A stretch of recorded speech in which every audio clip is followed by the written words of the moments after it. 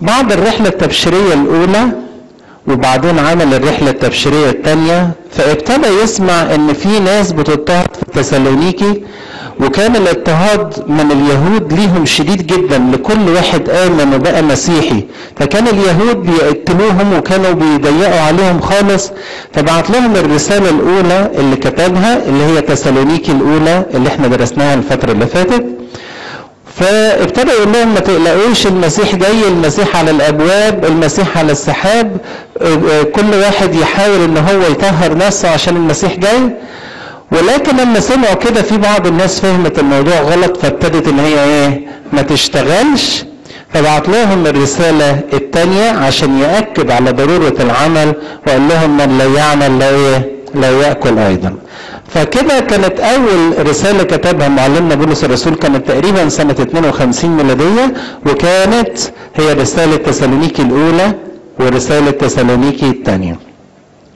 بعد الرحلة التبشيرية الثالثة ابتدى كل الناس اللي هو بيبشرهم في كل الكنايس ابتدى الشيطان ما يتبسطش إن اسم المسيح ينتشر فابتدى إيه كل ما كان يسيبه يبتدي الشيطان يحاول إن هو يعمل فيه مشاكل. فبعت رسائل وهدفها إن يرد الناس دي للإيمان. زي مثلا أول رسالة كانت لروميا عشان إن في بدعة دخلت اسمها بدعة التهود يعني الناس عايزين إن يعيشوا كيهود ولازم يختتنوا ولازم يحفظوا الناموس وبعدين يخشوا المسيحية. فهو قال لهم لا الخلاص وابتدى يعدل لهم مفهوم الخلاص وقال لهم الخلاص هو بالإيمان بيسوع المسيح. وابتدى يشرح لهم مفهوم الخلاص في رسالة روميا كمان في كورنثوس حصل مشاكل كبيرة جدا في الكنيسة وحتى رسالة كورنثوس الأولى بيسموها رسالة المشاكل لأن فيها عشر مشاكل كبيرة جدا كان بيعالجها بولس الرسول بالرسالة دي. وبعدين كتب لهم رسالة كورنثوس الثانية وبعدين كتب رسالة اللي فيها برضه بيقاوم بدعة التهود وبيحاول إن هو يفهمهم مفهوم الخلاص الحقيقي. يبقى هنا بعد فالاول خالص بعد الرحلة التبشيرية الثانية كتب رسالتين إيه هما؟ تسالونيكي الأولى وتسالونيكي الثانية طب وبعد الرحلة التبشيرية الثالثة كتب أربع رسائل إيه هما؟ روميا كورنثوس الأولى كورنثوس الثانية وغلاطيا بعد كده اتسجن بولس الرسول وقال وراح روما فمن سجن في روما بعت أربع رسائل. فاكرين إحنا درسناهم كلهم. ثلاثة بحرف الف وواحدة بحرف الكاف. إيه هما بقى؟ فيليبي فيليمون أفسس وكولوسي.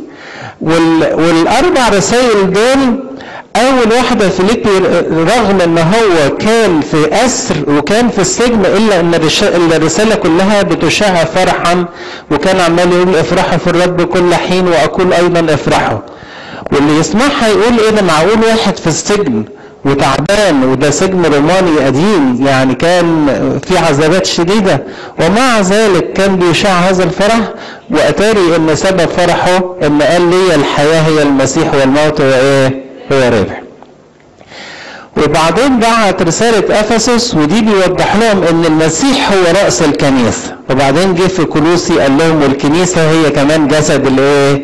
المسيح. فيليمون تعتبر من الرسائل الرعوية وكان بيبعتها لتلميذه فيليمون عشان يوصيه على إنسيموس. إنسيموس ده كان عبد عند فيليمون وبعدين سرقه وسافر اتقابل معاه تقريبا بولس في السجن وإيه أرشده للمسيحية فتاب وما تاب رجع يصلح ما بين فيليمون والعبد أنسيموس بتاعه وقال له اقبله وافتكر إن أنت مديون لي كمان بإيه؟ بإيمانك بالمسيح. يبقى هنا بقى في الاسر كتب كام رسالة؟ أربعة إيه هما؟ فيليبي فيليمون افسس وكولوسي. بعد ما خرج من السجن الأول كمل بشاره طب إحنا كده قلنا كام رسالة؟ اللي حفظ ها؟ كام؟ عشرة. اتنين وبعدين أربعة وبعدين وبعدين عمل إيه؟ آه ابتدى يرسل رسائل رعوية. إيه الرسائل الرعوية دي؟ زي اللي إحنا هنبتدي ندرس فيها النهاردة. هو دلوقتي ساب تلميذ ليه اسمه تيموساوس وبعدين ابتدى بقى ينصحه. تيموساوس ده أسقف ولكن صغير في السن فابتدى ينصحه ويقول له يعمل إيه في الخدمة اللي ربنا ائتمنه عليها. فهنا رسالة من البطرك لإيه؟ للأسقف بتاعه عشان يعمل إيه؟ يخلي باله. فكان تيموساوس موجود في بلد اسمها إفسس فابتدى ينصحه إزاي يتعامل مع الناس وإزاي يتعامل مع الكبار ويعني إيه رسامة الشمامسة وابتدى يحط قواعد للكنيسة اللي هو ماسكها تلميذه تيموساوس. فكتب رسالة تيموساوس الأولى وهي دي من الرسائل الإيه؟ اللي قلنا من الرسائل الرعوية. كمان كتب رسالة تيتوس وتيتوس ده كان أحد تلاميذه وبرضه كتب له رسالة بيوضح له فيها أمور الخدمة. بعد ما كتب تيموساوس الأولى وتيتوس كتب الرسالة للعبرانيين. ونلاقي الرسالة للعبرانيين دي الوحيدة اللي لم يذكر فيها اسم بولس الرسول لأنه إيه؟ كان بعتها لليهود واليهود كانوا مش بيحبوه فكانوا لو شافوا الرسالة عليها اسمه كانوا عملوا فيها قطعوها ما قراهاش. وعشان كده عشان تحفظ هذه الرسالة لم يذكر اسمه. ولكن بينت قد إيه إن هو عارف العهد القديم ومذاكره كويس جدا وبيطبق كل حاجة في العهد القديم على المسيح اللي حضر وكان موجود وتجسد في ملء الزمان.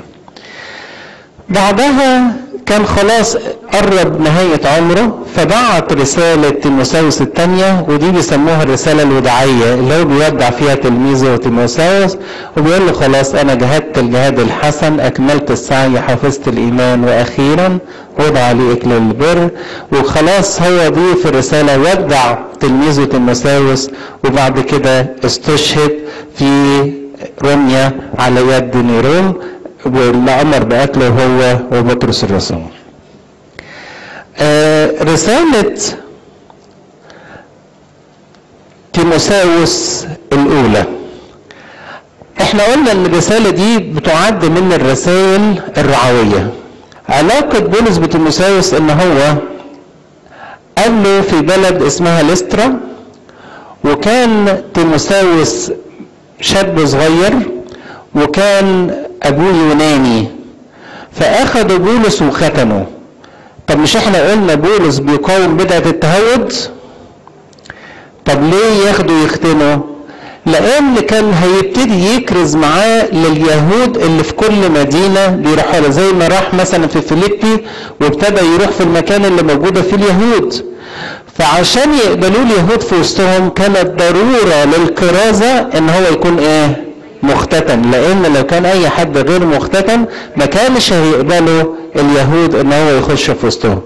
لأن هنلاقي برضو إن تيتوس كان من تلاميذ بولس الرسول ولكن كان بيكرز في الأمم فعشان كده لم يختتن وما اهتمش إن هو يكون مختتن يبقى هنا بولس اخده واختتنه لهدف الكرازة مش لخلاصه مش لخلاص نفسه.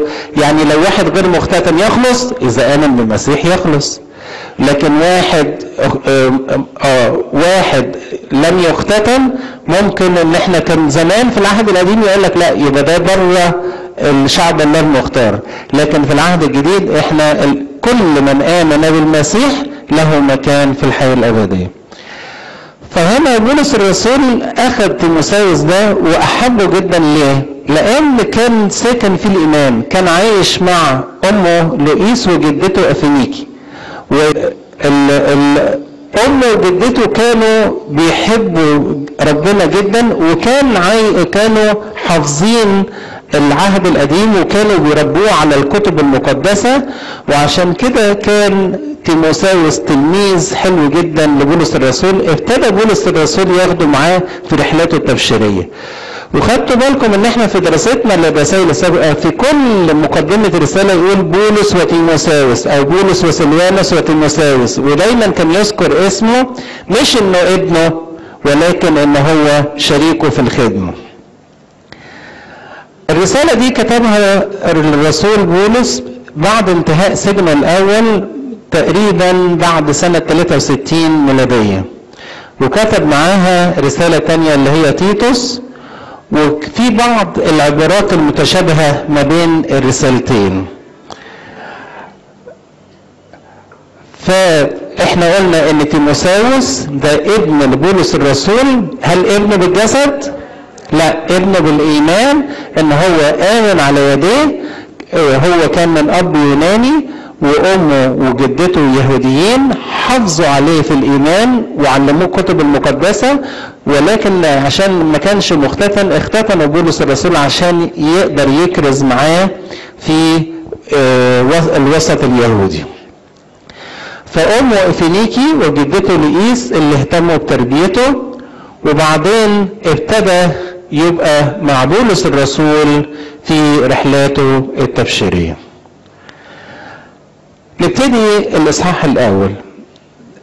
زي ما اتعودنا إن بولس الرسول دايما في بداية كل رسالة لازم يعرف نفسه. يعني كل واحد ليه اسلوبه الكتابة. فبولس الرسول عشان كان متعلم إحنا قلنا الفلسفة اليونانية وكان دايما ليه أسلوب مميز في كتابته. فكان في بداية كل رسالة إلا رسالة إيه؟ العبرانيين. كان دايما يقول يا إما بولس رسول يا إما بولس عبد يسوع المسيح. هنا بيقول بولس رسول يسوع المسيح. بحسب أمر الله مخلصنا وربنا يسوع المسيح رجائنا. إلى تيموثاوس الابن الصريح في الإيمان نعمة ورحمة وسلام من الله ابينا وربنا يسوع والمسيح يسوع ربنا. أول حاجة بيعرف نفسه هنا إن هو رسول وبيكلم اسقف من الاساقفه اللي موجودين عنده فمعنى كده بيوري له ان هو ليه السلطان كرسول ان هو يوجهه وبيديله مبادئ روحية كرسول مرسل من المسيح شخصيا. لأن اللي هيخالف بولس الرسول أكنه خالف مين؟ المسيح. فبيقول بولس رسول يسوع المسيح بحسب أمر الله مخلصنا. كلمة أمر هنا جاية بمعنى زي كلمة فرمان. عارفين الملك اما يعطي فرمان إن حاجة مش ممكن إنها تترد. فهو هنا برضو بيقول أنا ما بقتش رسول بإيد إنسان ده أنا بقيت بأمر مين؟ ربنا يسوع المسيح لأن فعلا ما حدش قال بولس روح اكرز لكن أخذ الأمر ده من مين من أمر الله مخلصنا. كلمة الله مخلصنا لأن الله الآب خلصنا بإن بذل ابنه الوحيد عن حياتنا وعشان كده إحنا دايما بنقولها كده ارحمنا يا الله إيه؟ مخلصنا. بيقول كده بحسب أمر الله مخلصنا وربنا يسوع المسيح. هنا شوفوا الآية عبارة عن سطر واحد أو آيتين ولكن قايل فيهم المسيح كم مرة؟ ثلاث مرات. ثلاث مرات. ليه؟ أما بيكون واحد مركز في حد جدا تبص تلاقي لسانه على إيه؟ لسانه دايما يجيب اسمه. فهو عشان بيحب ربنا يسوع جدا فعلى طول كل كلمة والتانية دايما إيه؟ يقول بحسب أمر الله مخلصنا أنا رسول يسوع المسيح سلام من الله أبينا والمسيح يسوع ربنا. فدايما كلمة المسيح يسوع ربنا في إيه؟ في لسانه. ودي اللي خدتها الكنيسة وبتعودنا دايما يا رب يسوع المسيح عيني يا رب يسوع المسيح ارحمني يا رب يسوع المسيح. يبقى دايما اسم ربنا يسوع المسيح على لساننا. عشان كده يقول لنا أحد القديسين يقول من يقول يا رب يسوع يجعله يجيء ويسكن فيه. يعني اللي يقعد ينادي على اسم يسوع على طول يجعله يجيء وإيه؟ ويسكن فيه. ومن يقول يا رب يسوع كمان بيده السيف يسرع به العدو. ليه؟ مين اللي هزم الشيطان على الصليب يسوع المسيح. يبقى لما أقول يا رب يسوع المسيح ده فيها إيمان لأن الله الآب أرسل ابنه الوحيد وتجسد وخلصنا من خطايانا وعلامة الخلاص إن إحنا حتى يدعى اسمه يسوع لأنه يخلص شعبه من إيه؟ من خطاياه. فهو اسمه وإحنا مديونين ليه؟ إحنا مديونين ليه؟ بهذا الخلاص. إلى الابن الصريح في الإيمان. دي جاية في الإنجليزي معناها my true son in faith يعني معناها إن أنت ابني الحقيقي ابني الحقيقي true son الابن الحقيقي. ومعنى كده إن بولس كان بيعتبره ابن مقرب ليه جدا لأن هو مش ابن بال- بالنسل بالجسد ولكن بحسب الإيمان اللي آمن عن طريق بولس الرسول.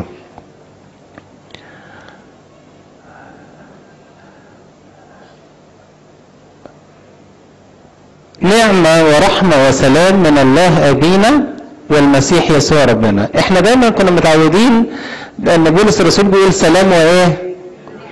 آه النعمة والسلام. المرة دي زود عليها كمان إيه؟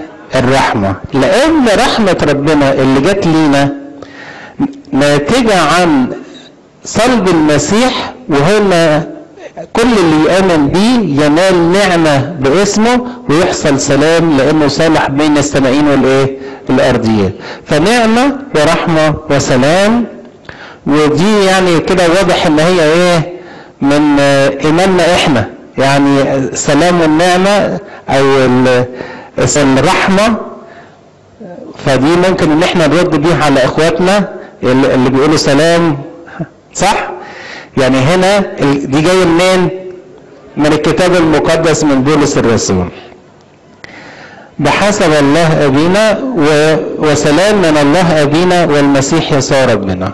نلاقي دايما إن بولس الرسول بيقول الله أبونا والمسيح يسوع ربنا تأكيد على إن المسيح هو هو الله الظاهر في الإيه؟ الجسد. طب هل هم كده اتنين؟ لا إحنا السلام اللي جالنا من ربنا جه عن طريق موت الابن الوحيد فصار به سلام ما بيننا وبين مين؟ ما بين ربنا. كما طلبت إليك أن تمكث في أفسس إذ كنت أنا ذاهبا إلى مقدونيا لكي توصي قوما أن لا يعلموا تعليما آخر. حتة طلبت إليك تمست منك إن أنت تقعد يعني مش أمرتك أنا طلبت إليك إن أنت تقعد في أفسس لأن هو كان ذاهب إلى مقدونيا. مقدونيا دي اللي هي المقاطعة الكبيرة اللي فيها فيليبي اللي إحنا درس درسنا رسالتها. لكي توصي قوما أن لا يعلموا تعليما آخر. كلمة تعليما آخر دي في الترجمة معناها غير أرثوذكسي أو غير مستقيم. أنتوا عارفين إن دايما في تعليم مستقيم إحنا واخدينه من الآباء الرسل. ولكن في بعض الناس بتطلع تقدم تعليم تاني مش حقيقي. زي ما إحنا قلنا كده ان في ناس من المسيحيين من اصل يهودي قال لك لا لازم عشان واحد يخش في الإيمان لازم يعيش اليهودية الأول وبعدين يقبل المسيحية. وده حاجة ما كانتش مطلوبة وكان بيحمل الناس أحمال عسرة الحمل هم إيه ملهاش ملهاش احتياج. لأن هل في حد قدر ينفذ الناموس؟ ولا واحد قدر ينفذ الناموس. طب ليه عايز إن ينفذ الناموس عشان يخش في المسيحية؟ فهنا بيقول له طلبت إليك أن توصي قوما أن لا يعلموا تعليما آخر. ولا يصغوا إلى خرافات وأنساب لا حد لها تسبب مباحثات دون بنيان الله الذي في الإيمان. الجزء ده إن كان في بيحصل ما بين الناس وبعضها مباحثات كتيرة والمباحثات دي ما كانش بتفيد في الإيمان. يعني مثلا لو واحد بيسألني عن إيماني يقول لنا آه كونوا مستعدين لمجاوبة كل من يسألكم عن سبب الرجاء الذي فيكم. لكن لو واحد هنا مش هدفه إن هو يفهم هدفه إن هو يشكك لا يبقى ده المباحثات دي أعمل إيه؟ أتجنبها. ليه؟ لانها تبني في الإيمان مش هتزوده في إيمان وفي نفس الوقت مش هتفيدني في أي حاجة. كانت مشكلة اليهود إن هم عشان عارفين إن المسيح هيجي من أصل إيه؟ يهوذا فكانوا بيحافظوا على الأنساب لدرجة إن أنتوا عشان يجيب مثلا آه، يوسف النجار شفتوا النسب متحافظ عليه إزاي من أول مين؟ إبراهيم وفي في إنجيل تاني كاتب من أول آدم ابن الله. صح؟ فهنا كان المحافظة على الأنساب دي كانت حاجة مهمة جدا وحتى من لقينا بولس الرسول نفسه بيقول إيه؟ بيقول أنا عبراني من سبط إيه؟ بنيامين فكان بيحافظ على النسب بتاعه جاي من فين؟ فكانت مهمة جدا أهم سبتين كانوا في شعب إسرائيل سبط يهوذا لأن ده اللي هيجي منه المسيح والسبط الثاني اللي هو سبط لاوي اللي هو منه الكهنوت اللي بيعيش اللي بيقدم لهم الذبايح وكل حاجة. فكانت الناس بتحافظ على الأنساب ويقعدوا يقولوا ده أنا من سبت كذا ده أنا من سبت كذا. قال لهم الأنساب دي هتفيدكم في إيه؟ كمان الغنوصيين الغنوصية دي كانت جاية من آه، بعض الفلسفات القديمة اليونانية وابتدوا إن هم اما دخلوا هي ابتدوا يفلسفوا شوية لدرجة يقولوا إيه الناس العقلاء بس هم اللي هيكون ليهم ايمان بالله.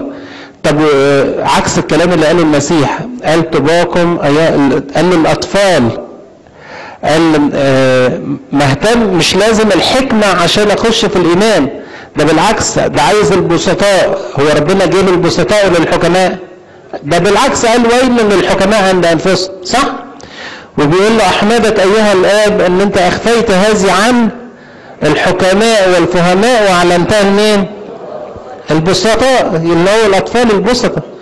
فهنا بيقول لهم ال- الغنوصيين بقى بيقولوا لا الإنسان اللي عنده حكمة وعنده عقل هو بس اللي هيعرف يؤمن بربنا. وبكده إن هم نقضوا كلام ربنا بالحاجات اللي هم بيعلموها. وكمان يقولوا إيه؟ مش قابلين إن الإنسان الجسد يقولوا الجسد ده شر جدا فمش ربنا ياخد جسد.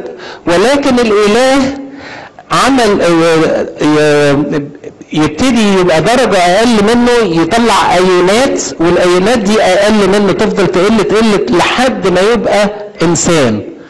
فطبعا الكلام ده قعدوا يفسروا فيه ويقولوا إن المسيح عبارة عن كائن إثيري ما كانش ليه جسد وطبعا الكلام ده كله خرافات وملوش أي أساس من الصحة.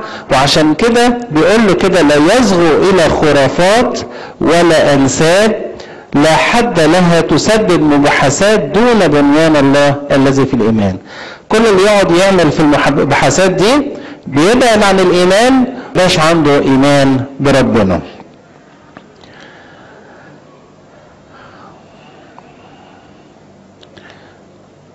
فكانت المباحثات بتاعة الجنوسيين دي بتعمل بتكون بعجرفة وبتكون بعقلانية ما كانتش بتبني الناس في حياة التقوى اللي يخلي عندهم إيمان بأن ربنا يسوع المسيح هو اللي ظهر في الجسد وهو اللي ادالهم الخلاص.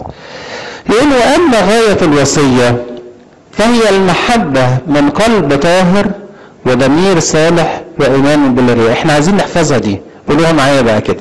وأما غاية الوصية فهي المحبة من قلب طاهر وضمير صالح وإيمان بلا رياء تاني وأما غاية الوصية فهي المحبة من قلب طاهر وضمير صالح وإيمان بلا رياء ليه بقى آخر ما آخر الوصية غاية الوصية يعني آخر هدف ليك في. في الوصية إن أنت توصل لإيه؟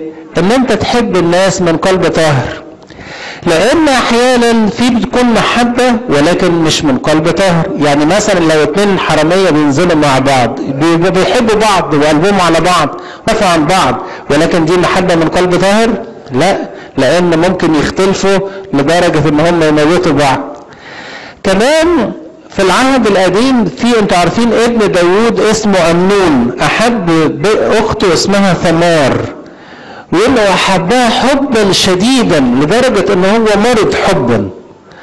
وبعدين استغل فرصة إن هو اخذها وأذلها وبعد ما أذلها يقول كارهها ولدرجة إن البغضة اللي كرهها بيها كانت أكتر من الحب. يبقى ده كان حب حقيقي؟ هل كان من قلب طاهر؟ لا.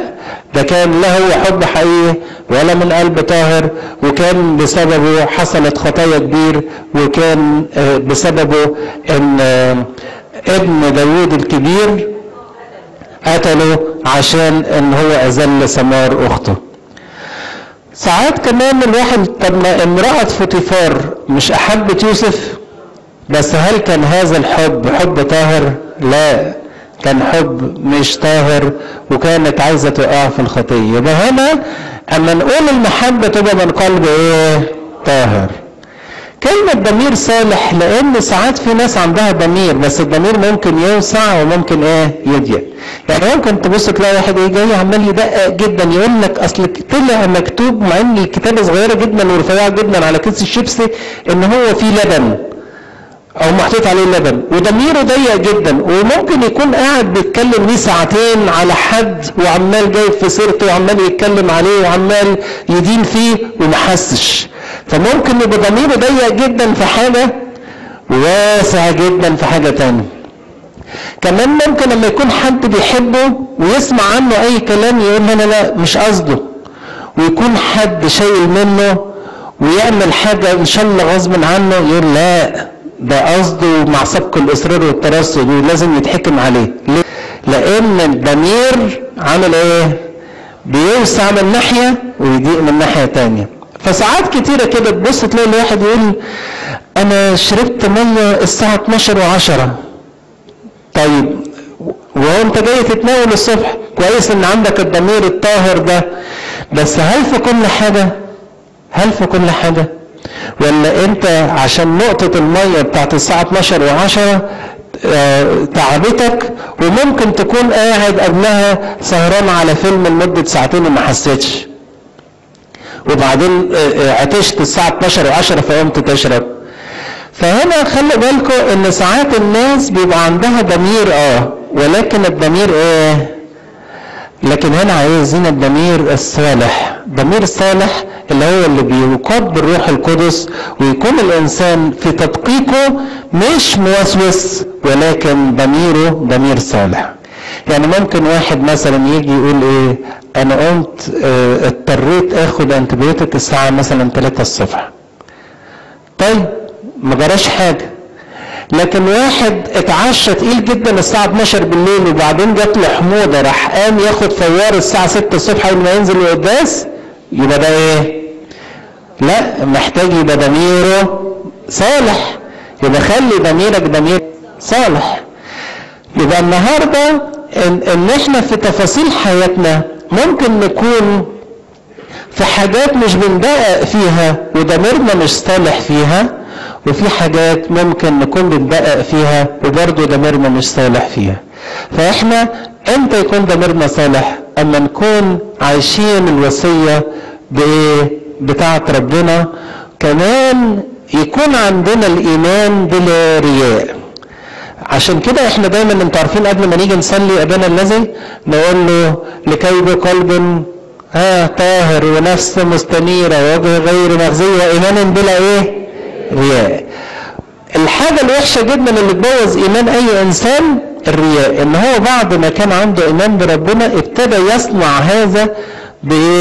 بتظاهر قدام الناس يبين قدام الناس إن عنده ضمير صالح يبتدي يتظاهر قدام الناس بحاجة غير اللي جواه ودي حاجة من الحاجات اللي ما كانش بيحبها ربنا يسوع لدرجة إنه قعد يقول لهم ويل لكم أيها الكتبه الفريسين الإيه؟ المراؤون ما كانش بيحب الرياء جدا. ما كانش يطيق الناس اللي كانوا يتظاهروا بحاجة وهم من جواهم حاجة تانية. شجرة واحدة لعنها المسيح. هي شجرة إيه؟ التين. لأن كان عليها ورق ما كانش فيها ثمر. كانت متظاهرة إنها في أوان الإسمار رغم إنها ما كانش لم يكن أوان التين. بس بينت حاجة غير الحاجة اللي هي المفروض تكون عليها. فهنا ربنا بيقول أو بيعرفنا إن إحنا لازم يكون عندنا الإيمان بتاعنا بلا رياء. طب نقولها تاني بقى. اما غاية الوصية فهي المحبة بقلب طاهر وضمير صالح وإيمان بلا رياء. الأمور التي ازداق قوم عنها انحرفوا إلى كلام باطل. يبقى النهاردة اللي هيحط الحاجات دي قدام عينه مش هيزوغ عن الإيمان. ليه؟ أنا الإيمان بتاعي إيمان بربنا. الأول وأنا بصلي بصلي ما بيني وبين ربنا مش بصلي بتظاهر قدام الناس. أنتوا عارفين الوصية بتاعت المسيح يقول متى صليتم فادخل مخدعك وأغلق بابك وصلي لأبيك الذي يرى في الخفاء. طيب إذا كنت ابتديت بقى لا تهتم بمظهرك قدام الناس وأنت بتصلي وهيقولوا عليا إيه وارفع عيني للسماء وأخبط على صدري إزاي وأعمل مش عارف إيه لا يبقى خلي بالك أنت ابتديت تمشي في خط تاني هتزوغ عن إيه على الكلام الباطل اللي هو بعيد عن الإيمان. وعشان كده الرسل كانوا دايما يحددوا الهدف. يقول لك خلي بالك إن غاية الهدف بتاعك إن أنت يكون عندك إيمان إيمان بلا رياء يكون عندك محبة من قلب طاهر يكون عندك ضمير صالح. فخلي بالك ليحسن الهدف إيه؟ يبعد عنك بعض الناس بقى لما زاغوا عن الهدف ده ابتدوا يعلموا تعليم باطل وعشان كده بولس الرسول بعت لتيموثاوس عشان يقول له خلي خلي بالك بقى قوم التعليم اللي إيه؟ اللي مش صح دي. يريدون أن يكونوا معلمي الناموس وهم لا يفهمون ما يقولون ولا ما يقرؤون. في ناس كتيرة كانت بتعلم الناموس. وانتوا فاكرين الكتبة والفريسين الناموسين دول كانوا عمالين يعملوا إيه؟ يجادلوا في المسيح نفسه. هل المسيح قال إن الناموس مش صالح؟ لا الناموس صالح. بس بيقول إيه؟ يريدون أن يكونوا معلمي الناموس وهم لا يفهمون ولا ما. ما يقولون ولا يقولوا أما جه واحد يناقش المسيح وقال له اني هي وصية هي الأولى والعظمى قال له كيف كيف تقرأ؟ مش مش قال له إيه هو؟ قال له كيف تقرأ؟ إزاي بتقرأه؟ فقال له تحب الرب إلهك من كل قلبك ومن كل نفسك ومن كل فكرك وتحب قريبك نفسك فقال له هو ده الإيه؟ هو ده الصح. فخلي بالك إن اللي بيعلم الناموس مهم يكون كيف يقرأه. إزاي بتقراه؟ هل بتقراه بفهم لأن كانوا بيقول كده يصفون عن البعوضة ويبلعون الايه الجمل. يعني الحاجات اللي هي خفيفة جدا يقعدوا يدققوا فيها انت عشان واحد يعمل يدفع العشور بتاعت النعناع. يعني واحد جاب حزمة نعناع يطلع العشور بتاعتها يقعد قد إيه يعملها فيها؟ ولكن يقول لك تركتم الرحمة والحق والإيمان. سابوا الرحمة والحق وقعدوا يمسكوا شوية كمون نشيل منهم العشر شوية نعناع نشيل منهم العشر اهتموا بأن هم ينفذوا وصايا صغيرة والوصايا الكبيرة الرحمة والحق والإيمان بعدوا عنه.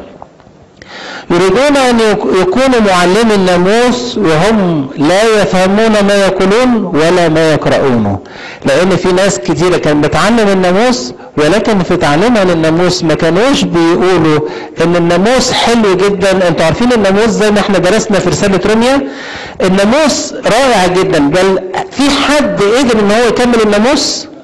ويقول لك من أخطأ في واحدة فقد أخطأ في إيه؟ في الكل طب ليه اتحط ناموس؟ كان زمان ربنا لما خلق الإنسان قال له خلي بالك تاكل من. كل شجر الجنة ولكن شجرة معرفة الخير والشر دي إيه؟ ما تاكلش. فادانا الوصية وكان الإنسان حافظها في قلبه.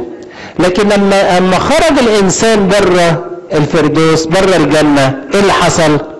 ابتدى كتب له الوصايا دي على لوحي الشريعة واداهم لموسى عشان تساعدوا الوصية دي في إن هو ينفذ ربنا. هل في حد قدر يكمل الوصية؟ محدش قدر هل في حد قدر يتمم الشريعة؟ مفيش حد قدر عشان كده يقول لنا الكتاب الجميع زاغوا وفسدوا وعوزهم مجد الله. طب ليه ربنا حط الناموس؟ الناموس يعرفني الطريق لربنا. عشان كده يقول الناموس مؤدبنا إلى الملكوت. يعني يأدب الواحد. أما يغلط يقول له تروح تذبح خروف أو تروح تذبح طور أو وتقدم حاجات عن تطهيرك. فيعرف الإنسان الطريق لربنا. طب وإذا غلطت؟ يقول له مثلا حد اتنجس حد مش عارف إيه. فليه شريعة لكل حاجة عشان يتطهر ويقدر يعود لربنا. لكن هل الناموس قدر يخلص حد؟ لا. كان زي إيه؟ زي اللي بيثبت المخالفة على أي واحد يعملها. عارفين لما واحد يبقى ظابط واقف في إشارة وأي حد. مش لابس حزام أو بيتكلم في تليفون أو بتاع ياخده مخالفة هو كده. لكن ما كانش يقدر يصلح الإنسان من جوه وعشان كده كان الناموس كل واحد يقرأ الناموس يعرف إن هو وحش وإن هو خاطئ. فكان المفروض بقى لما يعرف إن هو خاطئ يحتاج إلى مخلص فيلجأ لربنا. ولكن هم عشان لا يعرفون ولا يفهمون ما يقولون ولا ما يقرؤون ما كانوش بيوجهوا الناس لربنا. كانوا بيقولوا الناس لا لازم برضو تتنفذ الناموس زي ما هو مكتوب. إحنا نكتفي بكده ونكمل المرة الجاية عشان ما يبقاش الموضوع تقيل عليكم. يبقى إحنا آه في المرة الجاية هنعمل خمس ست أسئلة كده في الأول بجوائز على الحاجات اللي إحنا قلناها النهارده. اتفقنا؟ سواء عن بولس الرسول أو سواء عن تيموساوس الابن السريح في الإيمان. ربنا معانا نصلي. في ناس طالبة إن إحنا نبتدي ستة بدل ستة ونص آه.